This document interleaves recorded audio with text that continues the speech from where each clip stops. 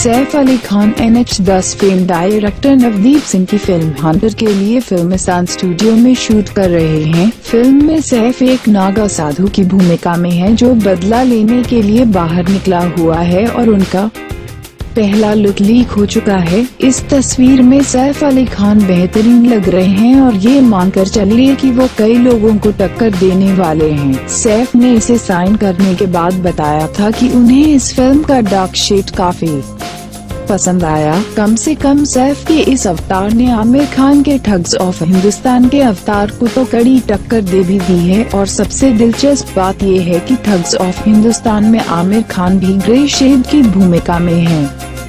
यानी कि वो हीरो तो है, पर हर हीरो अच्छा नहीं होता है। वो हीरो जिसके जैसा बनना कोई नहीं चाहेगा।